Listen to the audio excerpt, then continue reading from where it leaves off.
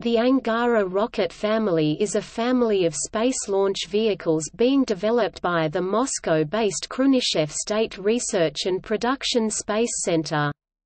The rockets are to put between 3,800 and 24,500 kg into low Earth orbit and are intended, along with Soyuz 2 variants, to replace several existing launch vehicles.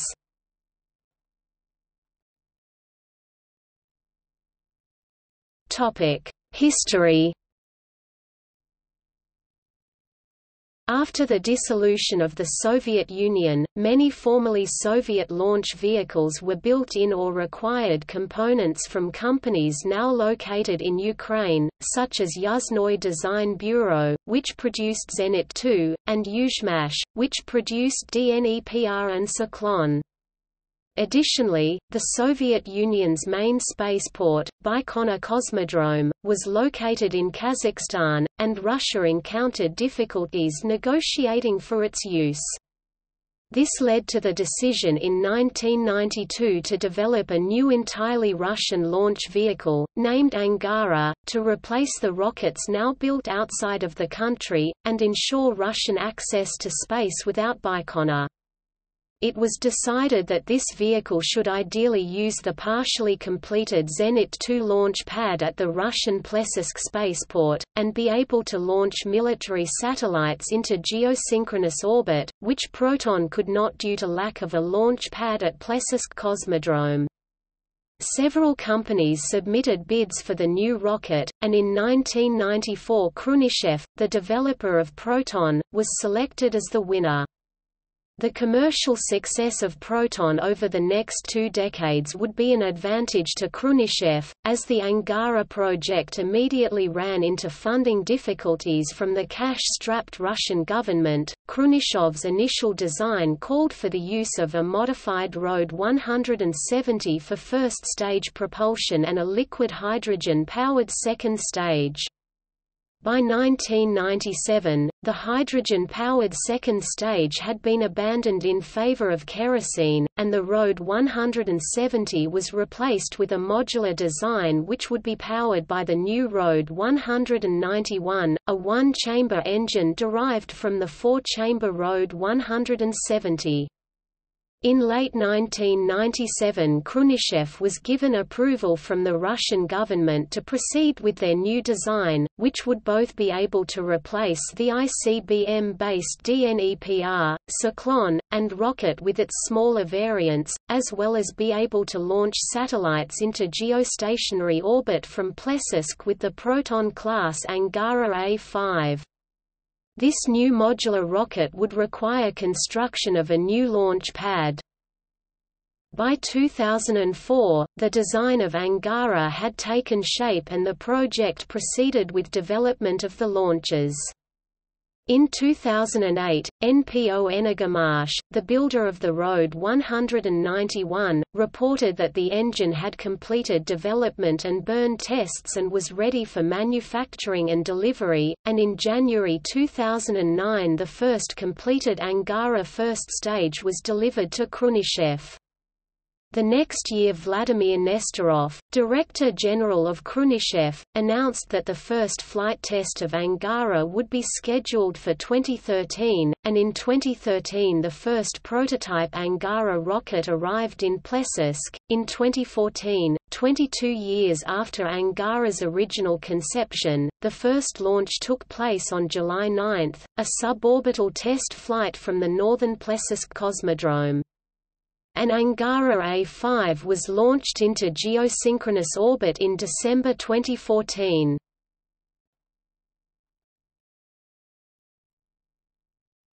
Topic: Vehicle description.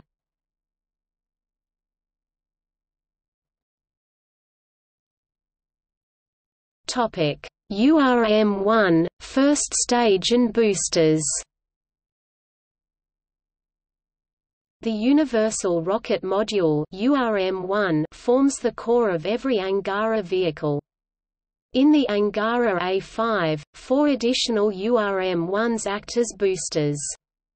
Each URM-1 is powered by a single NPO Energomash RD 191 burning liquid oxygen and RP-1 kerosene. The RD 191 is a single-chamber engine derived from the four-chamber RD 170, originally developed for the boosters powering the Energia launch vehicle.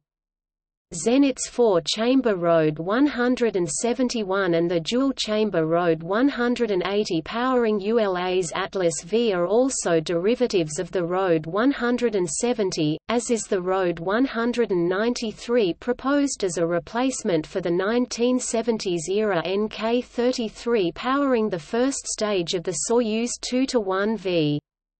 The RD 191 is capable of throttling down to at least 30%, allowing core URM-1 stages to conserve propellant until booster URM-1 separation. The URM-1 consists of a liquid oxygen tank at the top, followed by an intertank structure containing flight control and telemetry equipment, with the kerosene tank below that. At the base of the module is a propulsion bay containing engine gimballing equipment for vehicle pitch and yaw and thrusters for roll control.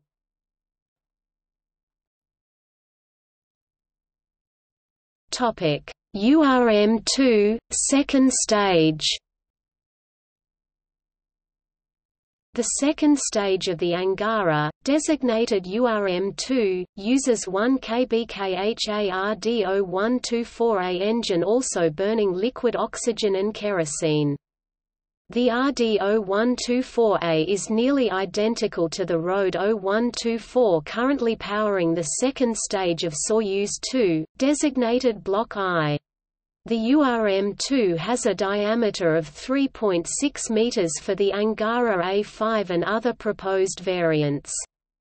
The Angara 1.2 will fly a smaller RD0124A powered second stage, which may be 2.66 meters to maintain commonality with Block I or stretched to 2.9 meters to maintain a consistent diameter with URM-1.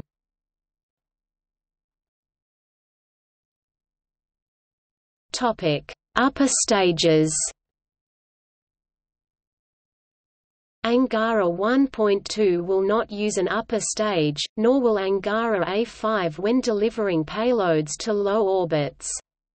For higher energy orbits such as GTO, Angara A5 will use the Briz M upper stage currently used for the Proton M rocket, powered by 1S5, 98M burning N2O4 and UDMH, or eventually a new cryogenic upper stage, the KVTK. This stage will use the LH2, LOX-powered RD0146D and allow Angara A5 to bring up to 2 tons more mass to GTO. The Block D is being considered as an upper stage when launched from Vostochny since it will avoid the toxic propellant of the Briz M.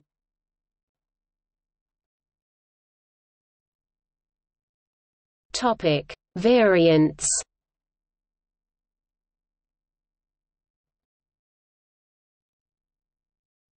Topic: Angara 1.2 The smallest Angara under development is the Angara 1.2, which consists of one URM-1 core and a modified Block I second stage. It has a lift-off mass of 171 tons and can deliver 3.8 tons of payload to a 200 km by 60 degrees orbit.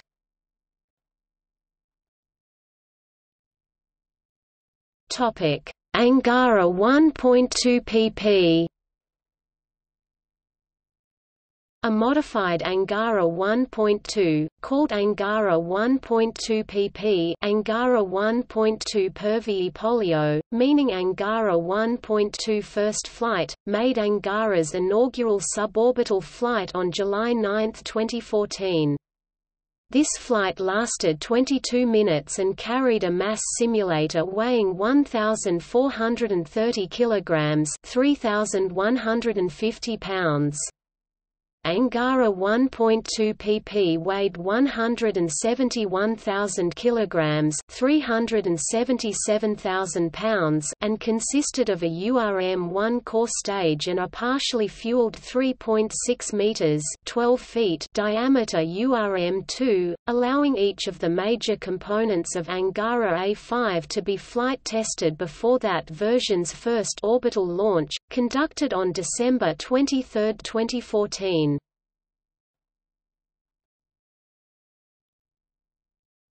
Topic: Angara A5.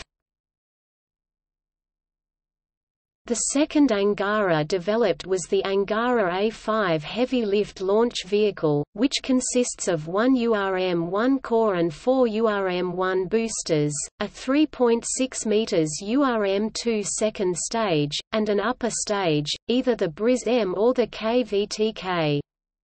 Weighing 773 tons at liftoff, Angara A5 has a payload capacity of 24.5 tons to a 200 km by 60 degrees orbit.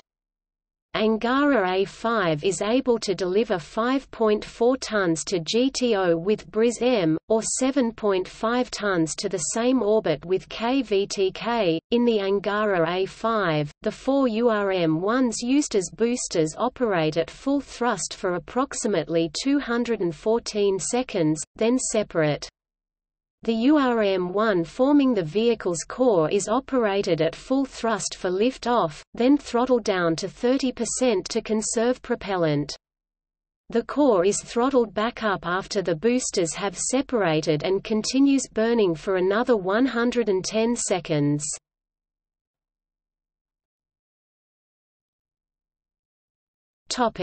Proposed versions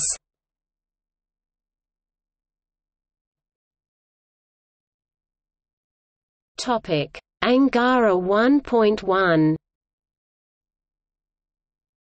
Initial plans called for an even smaller Angara 1.1 using a Briz KM as a second stage, with a payload capacity of 2 tons.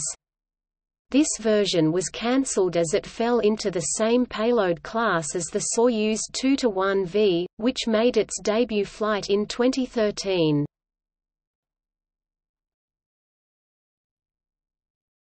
Topic: Angara A3.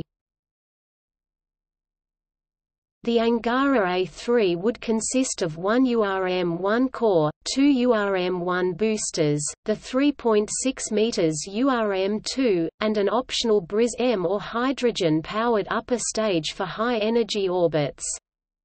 The hydrogen-powered stage for this vehicle, called RCAF would be smaller than the Angara A5's KVTK. This vehicle has no current plans for use 14.6 tons to 200 km by 60 degrees, 2.4 tons to GTO with Briz-M or 3.6 tons with a hydrogen upper stage, but could be developed as a replacement for Zenit.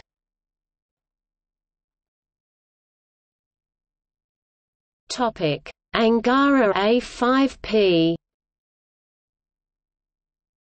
Khrunichev has proposed an Angara A5 capable of launching a new crewed spacecraft weighing up to 18 tons, the Angara 5P. This version would have four URM-1s as boosters surrounding a sustainer core URM-1 but lack a second stage, relying on the spacecraft to complete orbital insertion from a slightly suborbital trajectory, much like the Buran or Space Shuttle. This has the advantage of allowing all engines to be lit and checked out while on the ground, eliminating the possibility of an engine failing to start after staging. The RD 191 engines may also be operated at reduced thrust to improve safety.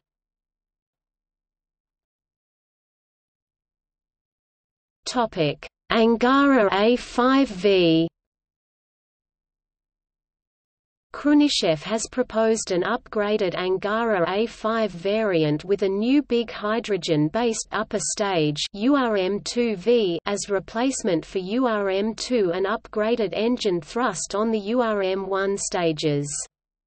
The thrust up the URM-1 boosters would be 10% higher during the first 40 seconds to allow good thrust-weight ratio even with the URM-2 replaced with the heavier URM-2V. Cross-feed and even more powerful RD 195 engines for the URM-1 are also considered. The capacity of A5V is supposed to be around 35 to 40 tons to LEO depending on final configuration.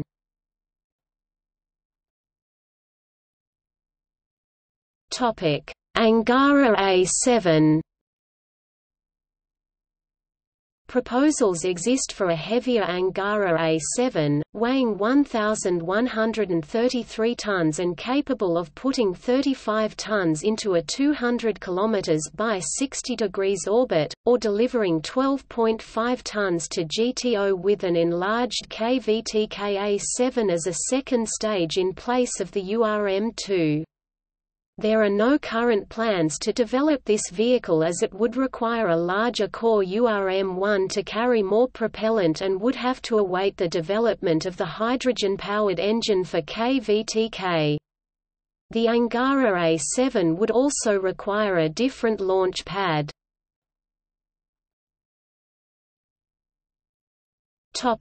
Angara 100 The Angara 100 was a 2005 proposal by Khrunichev to build a heavy-lift launch vehicle for NASA's Vision for Space Exploration. The rocket would consist of four RD 170-powered boosters, and RD 180-powered core stage, and a cryogenic upper stage using a modified Energia RD 0120 engine, the RD 0122. Its payload capacity to LEO would be in excess of 100 tons.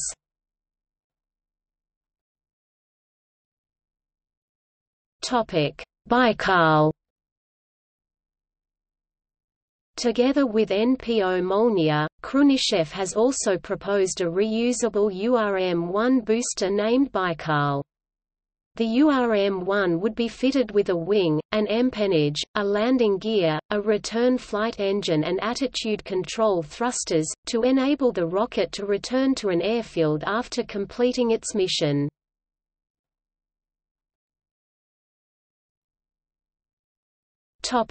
Specifications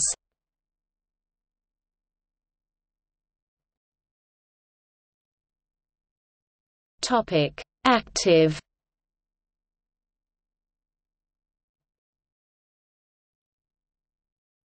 Topic: Cancelled or proposed.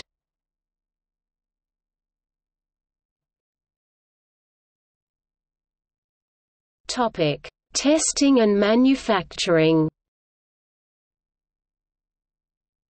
The production of the Universal Rocket modules and the Briz-M upper stages will take place at the Khrunichev subsidiary Production Corporation Polyot in Omsk. In 2009, Polyot invested over 771.4 million rub about $25 million in Angara production lines.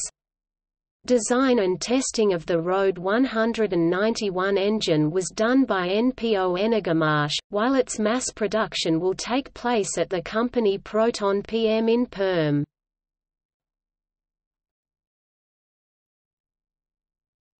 Topic: Launches.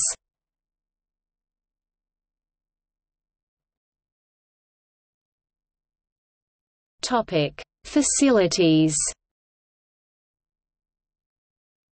Angara will primarily be launched from the Plesetsk Cosmodrome.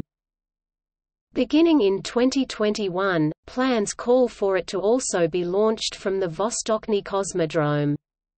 This would allow the phase out of Proton, a rocket whose operation at Baikonur Cosmodrome Kazakhstan has objected to, due to its use of large amounts of highly toxic UDMH and N2O4, and reliability issues.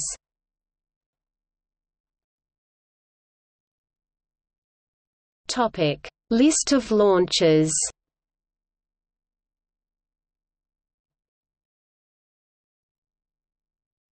Topic: Related projects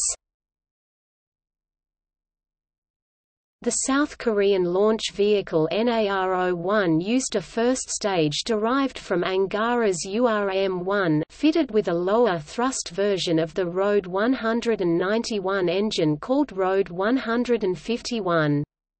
The vehicle made its first flight on August 25, 2009. The flight was not successful, but the first stage operated as expected. A second launch on June 10, 2010 ended in failure, when contact with the rocket was lost 136 seconds after launch.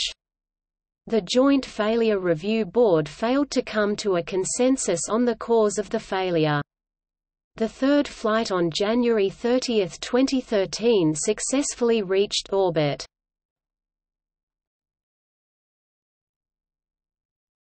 Topic: Comparable rockets.